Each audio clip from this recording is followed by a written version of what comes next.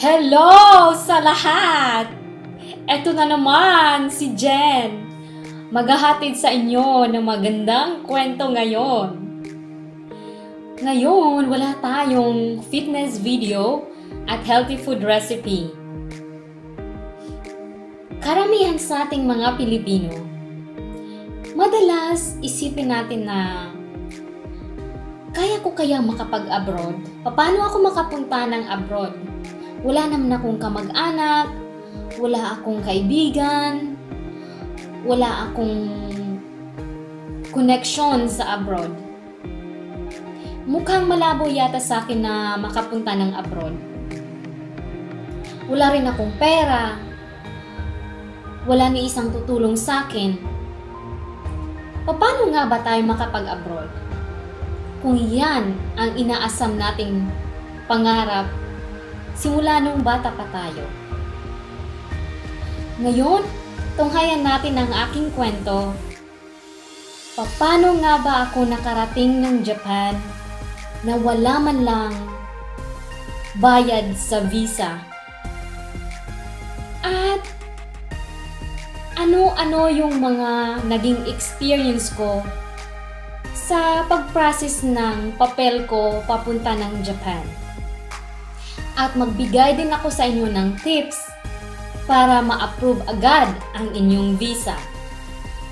Yung tipong hindi ka mag-worry kahit alam mo sa sarili mo na ikaka-worry mo talaga ito dahil hindi madali ang pagpunta sa Japan.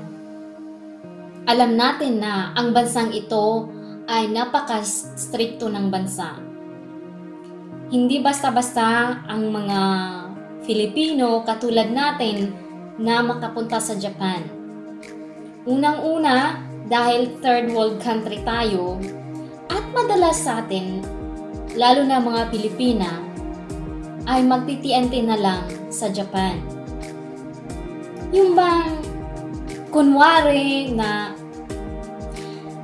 mag apply ng tourist visa, pero pagdating pala doon, ay magtatrabaho ka at hindi na uuwi ng Pinas. Magti-TNT.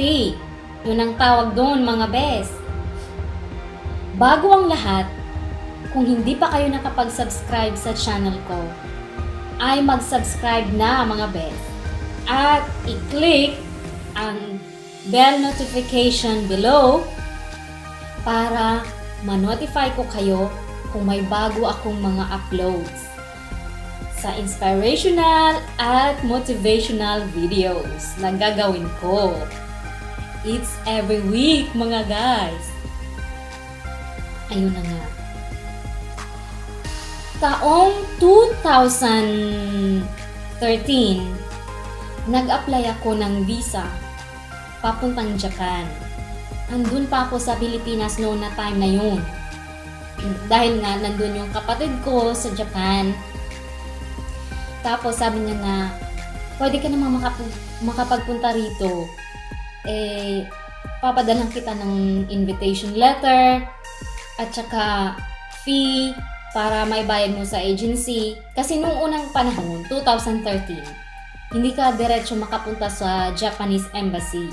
Kailangan mo na dumaan ng parang agency, kumbaga, na sila ang magpa-process sa'yo na makapunta ka sa Japan. At ako naman, napaka-excited ko naman, mga best. Gustong gusto ko talaga pumunta doon sa Japan. Yun ang unang pangarap ko. Simula nung bata pa ako. Kasi yung ate ko nga, nakapunta siya ng Japan. Iba naman yung process nga ginawa niya. Kasi yun, talented yun eh. Kumakanta yun, kahit saan, ganyan.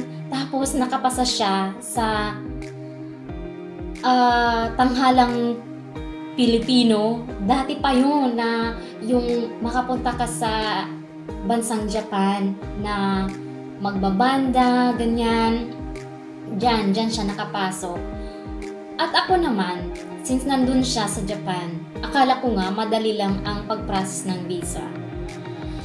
At kinuha ko naman lahat ng mga requirements, ng NBI, police clearance, passport, kinumpleto ko yan lahat. At siya rin pumunta doon sa city nila, mismo sa Tokyo, para kumuha ng papel. Lahat-lahat na ng requirements na kakailanganin para nga sa pagpunta sa akin dito sa Japan. I mean, para makapunta ako doon sa Japan. Pinasa ko naman yon mga best. Nagbayad pa, nagbayad pa talaga ako ng 2,000 pesos. Dati yun ha, 2013, nagbayad ako noon para lang makapunta talaga ako sa Japan. Sariling pera ko yun kasi ako, mahilig talaga ako magtipid. Matipid ako na tao. Nagtitipid ako kahit anong bagay. Maliit na bagay, pinagtitipid ko yan. Inun uunahin ko muna yung emergency ko na pangangailangan kumpara sa mga wants ko. Kagaya ng damit, kagaya ng leisure, kung ano pang mga mga holidays, ganyan. Kailangan na meron talaga akong itabi. Kung meron man akong um, sweldo galing sa kamay ko, no? Ganun ako. Kaya, hindi ko kailangan umasa sa iba. Yun ang prinsipyo ko. Yun ang prinsipyo ko na hindi ako kailangang umasa sa ibang tao. Hanggat kaya ko, ay kakayanin ko talaga. Hindi ako dapat na aasa pa sa ibang tao. Yun na nga. Time pa yun na nag-apply ako ng visa papuntang Japan. Doon pa yun na time na nag-tsunami ang Japan. Hindi mo akalain na nag-tsunami yung Japan. One week yun, mahigit na nag-tsunami sila. Kung naririnig nyo dati na may tsunami sa Japan, yun yun ang time na nag-apply ako ng tourist visa. After a week, na-deny ako. Ang lungkot-lungkot no, nung time na yun. Kasi 'di ba pinaghihirapan mo 'yun. Pinaghihirapan mo 'yun eh. Naglaan ka ng time, nagtipid ka, nag-ipon ka, kahit hindi ka man lang makakain. Para lang doon talaga sa visa mo. Kasi pangarap mo yun na makapunta ka sa Japan. Pangarap mo na makita mo yung kapatid mo.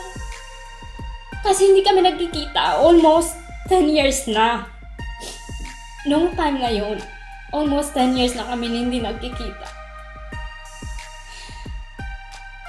Kaya na, napaka, napaka-emotional sa akin na i-share sa inyo lahat. Paano ba talaga ako nakapunta ng Japan nang wala man na akong binayan na visa pagkatapos no nag-apply ako sa Pilipinas?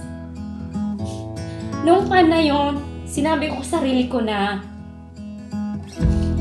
know in God's time, God's will, makakapunta rin ako ng Japan. Siguro hindi pa ngayon, hindi pa binigay ni Lord ngayon.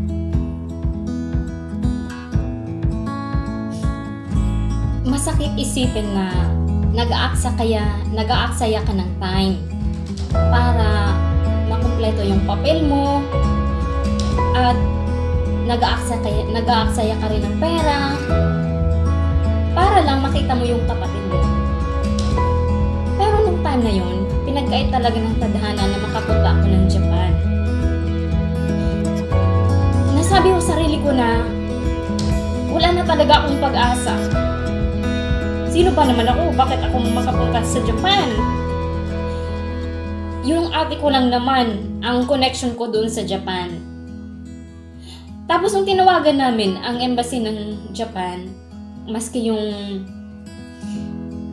husband ng ate ko ang tumawag doon, hindi nila maibigay-bigay kung ano yung rason bakit ako deny sa papel. Hindi sila makapagsabi na deny ako sa visa ko, kung ano yung rason, ganyan. Noong time na yun, nawalan na talaga ako ng pag-asa. sabi ko sa sarili ko, hindi ko na talaga ma makakamit yung pangarap ko na makapag-abroad. Na makita yung kapatid ko. Pero madami akong mga kaibigan, mga mga kamag-anak na nag-cheer up sa akin lagi.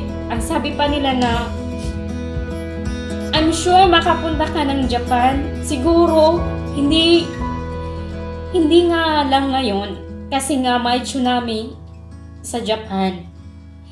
Hindi ka ilalagay ni Lord doon kung magulo pa yung Japan. Two years ako mga bes, nag-antay ng panibago na namang opportunity na makapag-abroad. Kasi akala ko talaga, buong akala ko, yun na yun. Yun na yun ang way ko na makapag-abroad. Yun nga yung mag-apply ako at uh, ang dami kong mga papel na inaasikaso tapos, hindi talaga binigay ni Lord nung time na yun na pupunta ako ng Japan. At lagi pa rin ako nagtatrabaho, nag-iipon pa rin ako para sa sarili ko. Kasi ang uh, naniniwala ako kasi sa kasabihang kapag may buhay ka pa, may pag-asa ka pa. Ganon yun. At mga mga tao na malapit sa akin at mga kamag-anak, lagi nila akong chini-cheer up na hindi pa talaga time mo na makapunta doon sa Japan. Siguro may mga may ibang ways or hindi ka swerte sa Japan. Siguro makapunta ka sa ibang bansa. Sabi nila, sabi ko naman, saan namang bansa yun? Wala naman akong kamag-anak sa ibang bansa Paano ako makapunta? Ako lang mag-isa. I- Sabi wala talaga ako pag-asa. Tapos, pagkatapos ng 2 years, dumating sa akin ang opportunity na makapunta sa Denmark. Na iba yung trabaho na papasukan ko. Hindi katulad sa dating trabaho ko sa Pilipinas, sa office ako nagtatrabaho. Eto, iba ang naging trabaho ko dito sa Denmark nung pagdating ko rito. Alam naman natin sa unang kwento ko na nag-apply ako bilang isang au pair. At sa awa ng Diyos ay nakapasa naman ako lahat ng mga requirements, nakapasa naman. At saka yung mga experience ko experiences ko na sinishare ko sa inyo, makikita nyo yun sa uh, how I get to Denmark. Sana ay mapanood po natin yun.